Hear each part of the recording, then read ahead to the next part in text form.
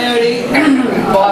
I have had a cold for about a week, so I am going to sing live. and uh, it's getting to be something I'm going to do in my shows pretty much all the time. But uh, if I crack, it's because I have a cold and I'm suffering through this, this cold.